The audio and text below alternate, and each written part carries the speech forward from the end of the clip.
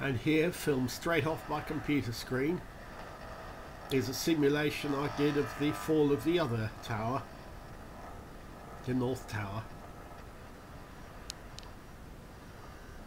Go to editor. There's a simulation.